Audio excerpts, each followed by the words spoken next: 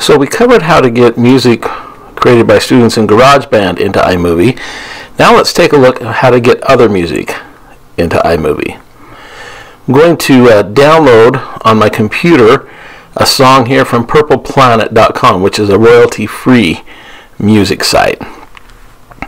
So I'll download it.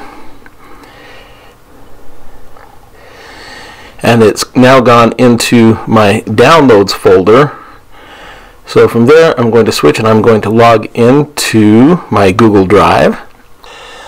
And I'm going to go to New, Upload File. I'm going to go select the file. This one's the Soda Pop. I've already uploaded one other one here. That's going to upload into my Google Drive. So now I'm good to go on that end of it. Now on my iPad, I'm going to go into my drive I'm going to find that audio file. I I'll use this one right here. If I tap on the three dots on that file and then tap on send a copy, now I can tap on open in and it's going to export and get it ready and then I can tap on open an iMovie, tap which movie I want the music put into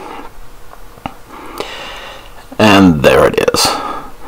So that's the way to get other music into iMovie.